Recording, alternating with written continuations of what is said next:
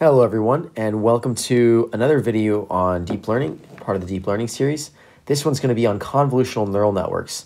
And uh, so just before I start and dive into this, if you're not familiar with deep learning or artificial neural networks or some of the concepts surrounding those, I suggest you check out my first uh, video where I walk through that and uh, also walk through concepts like gradient descent and backpropagation, because those are going to be fundamental to understanding uh, the concepts of a convolutional neural network, which has a little bit more complexity than a traditional artificial neural network. With that disclaimer uh, being said, uh, let's dive in. So what is a convolutional neural network? A CNN is basically, I'm going to give you a formal definition real quick and walk through and talk through it.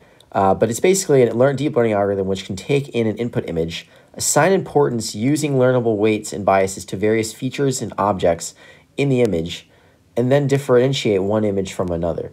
So um, basically, in more English terms, uh, what that's saying is, you know, this is an algorithm which can recognize important characteristics that make up an image and be able to use it to classify that image, right? Um, and so let's talk about, okay, you might have said, you might be saying right now, well, in the previous video to artificial ANNs, uh, artificial neural networks, we were just discussing how we were classifying uh, handwritten digits, images of handwritten digits. And so that worked very, very well. And so you're wondering, you know, why are we introducing something new to classify images? Well, it turns out that the images we were classifying were black and white, so they're one dimensional. Then they were also very small, 28 by 28. And uh, it turns out that as we scale this, ANNs turn out to be extremely, uh, you know, they actually don't work uh, as you scale and use larger images or color images. And um, so they become a lot more computationally unmanageable. And, you know, if you can just imagine it, each image input has to be connected to every network neuron in the network. And so we get this problem of, you know, as we scale our images, and, you know, nowadays we're not working with images that are 100 pixels by 100 pixels. We're working with color images that have upwards of, you know, a 1,000 or 4,000 if you're in 4K, you know, 4,000 times 4,000 times 3.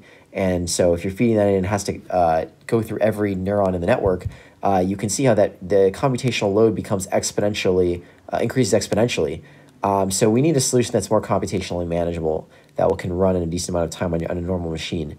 The second thing that uh, reason that we use CNNs instead of ANNs is that turns out ANNs are not they are extremely sensitive to location in an image and they learn basically not a straight feature but they learn a pattern or a shape in that in a certain part of the image and so unfortunately if we move let's say we have a picture of a cat if we move it from the top left to the top right or maybe dilate it or sh uh, shrink it or spin it around, rotate it a little bit, uh, ANNs will not be able to recognize the same image of a cat if it's uh, you know trans if it's transformed like that. Whereas CNNs are a much more robust solution that can actually are not sensitive to location and image, and they're training on a to learn recognize specific features, so that you can have a shrunken cat, a rotated cat, a dilated cat, uh, but it's still going to recognize it as a cat. And that brings me to the third point that it can process, CNNs can process a lot more complex media uh, and color images with less risk of overfitting. Uh, you know, and because it's not just learning on a specific image in a specific location, in a specific uh, angle, uh, you know, it, the risk of overfitting it, it can generalize to a lot more in images, and so you're you're much less likely to overfit your model. Um, so that you just keep those three points in mind as we, you know, that's kind of why we wanted to, we need a better model and the CNNs present us much better model for image processing. So let's walk through the uh, typical structure, uh, the structure of a typical CNN. Um, basically, I attached an image here. This is kind of a typical structure. Uh, it doesn't have to look exactly like this, but most are going to have all these steps. So we feed in our image, uh, in this case, the input image to the left, um, and I'm going to just kind of circle that. And we walk through, there's three different important steps to learn here. Uh, convolution, then we apply a step called re ReLU, and then we call uh, apply a step called max pooling. And then we can sometimes repeat it uh, two or more times depending on uh, whether, you know, how we've built our model. But the three key steps here are convolution, ReLU, and max pooling. And then the last step here is we actually send that output of convolution, ReLU, and max pooling to a fully connected layer. Uh, it's basically just a regular traditional neural network. So this part hasn't changed. You already know how this part works. We're just going to walk through this part and see how these three steps uh, really help us gain computational savings and also make this model more robust than a traditional artificial neural network. So What is convolution? Before we dive into the convolution step, we got to understand what it actually is. Uh, the mathematical definition is an operation of two functions which produces a third function that expresses how the shape of one is modified by the other.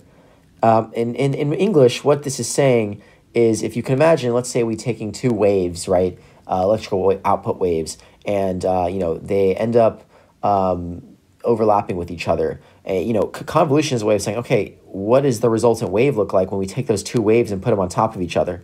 Um, and mathematically turns out, so here's the definition for when we have continuous functions, uh, f of x and g of x. We just take this change of variables, and uh, now anywhere we have uh, x in the function of f, we just replace with tau, and then and the g in g, which uh, uh, anywhere we have x, we replace with x minus tau. And in convolution, f here is known as the, the kernel, and in uh, our CNN, we're going to call it the filter. And g is known as the function that is going to be uh, undergoing the convolution. So you're, you're convolving that kernel on top of the function, and you're going to integrate from 0 to x. Uh, and take the derivative with respect to tau here. So this is the you know definition for two convolving two continuous functions. And if you want to see, uh, you know, learn more about convolution and exactly, you know, I can walk through an example. I'm making a separate video on that to save time here, but you can see how exactly uh, the math that we walk through to actually convolve two functions. And we're also going to walk through how to convolve two matrices because uh, in CNNs we work with matrices. So the equation is actually just adapted from this top equation for continuous functions. Instead of integral, we have a summation, and we're summing over um, the outputs here in uh, both the rows and the columns.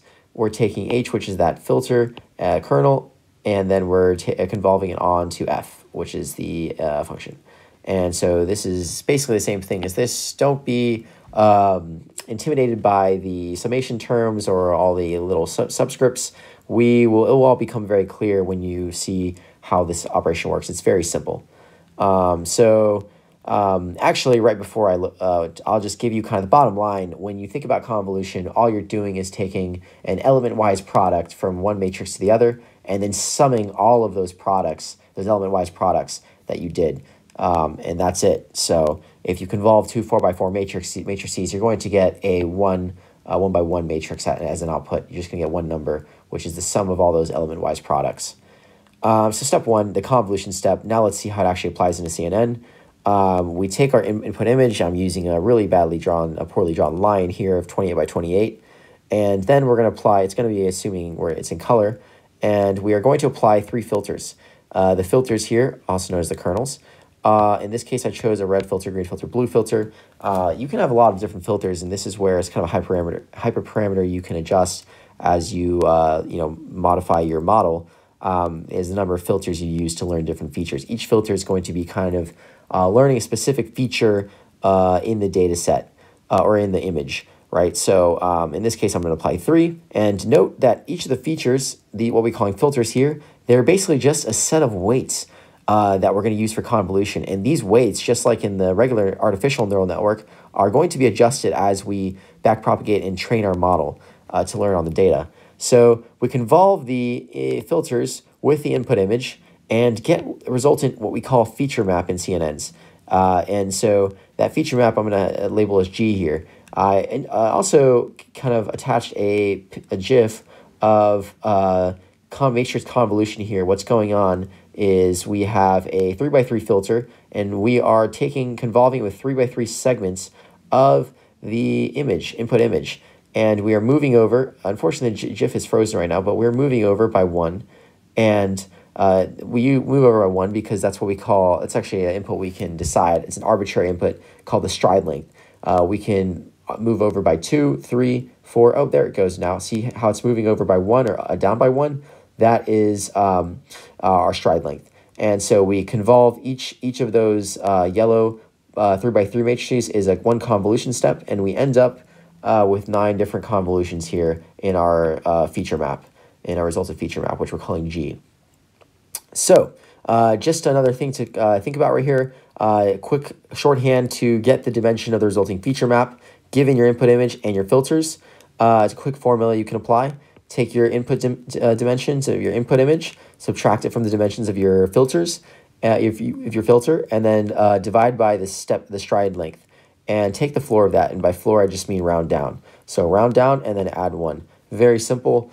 Um, that'll give you the output dimensions of your feature map. Um, step 1.2, and I'm saying 1.2, not 2, because it's typically uh, uh, written as a part of the first step. It's applying ReLU. If you look at the initial image, it says convolution plus ReLU. That's how you're going to see it written a lot of times.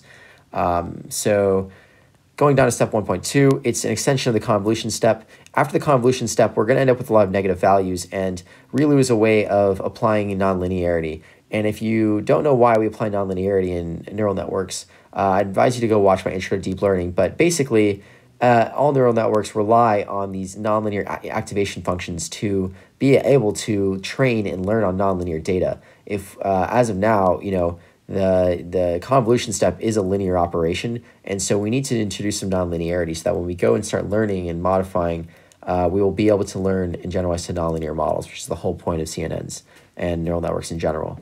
Uh, so all ReLU is going to do is turn all the negative values to zero. It's a very simple operation. Um, so now we get our resultant feature map with all values greater than equal to zero. Okay, that brings us to the next step. So after the convolution step, we have identified some important features, but we're still missing a very key part of this uh, model before we can send it to our fully connected layer, and that is what we call downsampling. And unfortunately, we haven't solved, if you think about what we need downsampling, all that downsampling means is shrinking the size of the sample.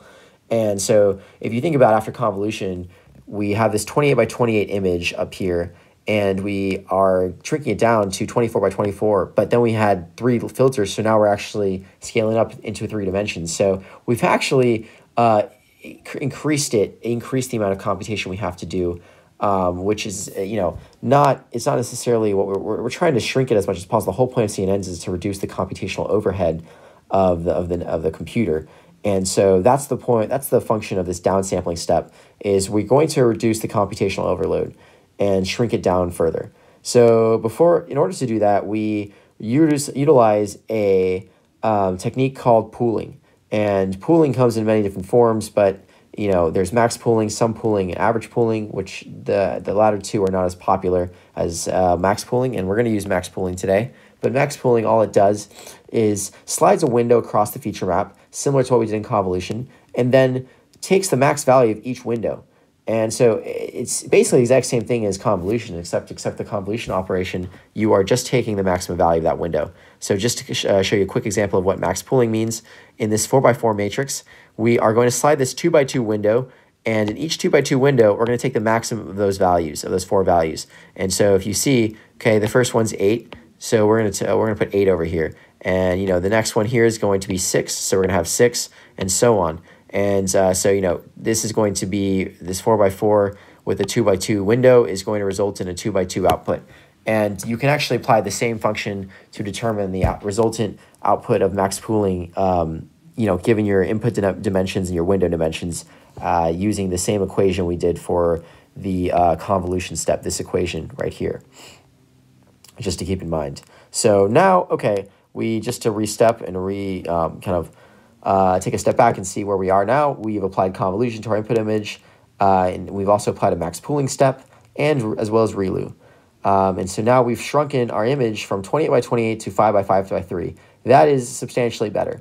And that's why generally also, you know, if you have big images or different things going on, you won't just do one of these steps. You're going to apply another step or multiple, three, four, five steps of convolution, ReLU, and then max pooling to really shrink that image down and, and focus on just the max feature, uh, the, the most important features.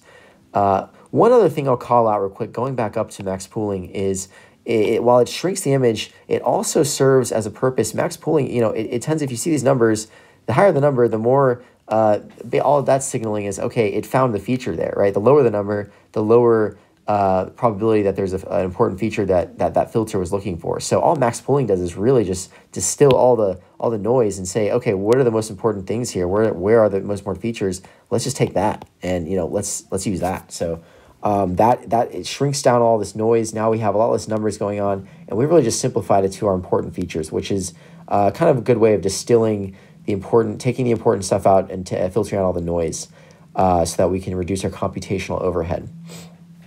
Okay, so we've walked through the first two steps, convolution, ReLU, and max pooling. Now it's time for step three. This is where we repeat, if necessary, repeat steps one and two and have, you know, multiple convolution and max pooling layers. And then we walk through step four. So step four is now we're ready to, we've shrunk the image enough, we've gotten the features, now we're going to send it to the fully connected layer. And all the fully connected layers is basically just a regular old artificial neural network. So we're going to take the resultant vectors and flatten them. And by flatten, I just mean make into an n by 1 array and, and rows in one column that can be fed into a traditional ANN. So for this 5 by 5 by 3 output that we got, we're going to have a 75 by 1 input vector. And notice that I, uh, you know, multiplying all these three numbers because we have each, each, uh, each uh, feature map, but then we've taken, you know, multiple feature maps. So we're, we're just going to stack those on top of each other. So it's going to be one big row. So that's why it's crucially important to reduce the size as much as possible uh, when before you feed it in here because once you feed it in here, it's going you know the computational overhead uh, does not decrease and actually gets it gets a little bit worse. So uh, make sure that we utilize these convolution and max pooling steps to really shrink down the the image into the important pieces of information. Um, right before I dive into into it, uh, I want to call out an important thing here that uh, in CNNs we traditionally outuse the softmax function at the end with the output neurons to get a resultant probability. Uh, and that's just uh, kind of a convention and a pro, uh, standard practice in CNNs. You're going to use the softmax function. And if you're not familiar with the softmax function, I recommend uh, doing a quick Google. But basically, all it does is uh, takes outputs and converts them into a probability. And by probability, I mean they just converts those values into uh, values that sum to one. Um, so that's what we define as a probability. So step four, after we sent it to our fully connected layer, now we're going to step five, where we, okay, we've fed all our information through the network uh, and fed it forward, gotten a prediction, we've compared it to what we thought it was going to be, our, our desired value, and gotten an error, right? And so now we have to use that error to uh, tweak our model to minimize the error, right? It becomes an optimization problem. And this is where we go straight from take a page out of the ANN book and backpropagate the error to converge. Uh, backpropagation CNNs is going to be pretty much exactly the same as ANNs up until the convolution and max pooling step. And uh, there it just gets a little bit different. Uh, not too much, not too complicated or nothing, nothing new, except instead of multiplication, we're going to use another convolution because we did a convolution step to get forward uh, and max pooling. We did a max pooling step to get forward. We're going to need to do uh, a convolution step to get backwards in the same way. So I'm not going to go through that here, but just keep that in mind at a high level. I will talk about backpropagation CNNs and walk through the math exactly uh, in a different video just for brevity. Um, so just know that, you know, the, the only difference between backpropagation and an ANN and a CNN is really that convolution step between uh, to get to go backwards instead of multiplication. Um, so a few other things I want to touch on before we finish. Uh, why are CNNs important? that they, they're not just good for image processing, they are good for a lot of other problems. And if you can, the only key here is that if you can formulate your problem as an image, CNNs can solve it. And so if you think about, okay, just to find a creative way to structure your problem as an image, you could have uh, utilize a CNN to solve that problem. Uh, a good example of this is an audio. You know, an audio file you could have, and I could just draw this out real quick. In an audio file, you could have um, something like um, let's see, it just has to be put into a matrix, right? You have this audio file of all these uh, noises, and you can say, okay, for your rows, you can have uh, different frequencies, right? Whatever the different frequencies are to make up that audio file. And then you can have in your columns each time step, time step, time one, time two, you know, time three, you can discretize it like that, time four, and uh, you can basically just structure this problem as a, as a matrix, right? and uh, use CNNs to solve this problem to recognize audio files and uh, to recognize sounds, uh, audio recognition in CNNs. That is horrible. In CNNs. So just wanted to throw that out there just to kind of get you thinking in, in terms of the applications of CNNs. But uh, that's it for today. You now know how to build a convolutional neural, neural network and the basics of how it works and how to get to solutions. So uh, thank you very much for listening today and uh, look forward to giving you more videos and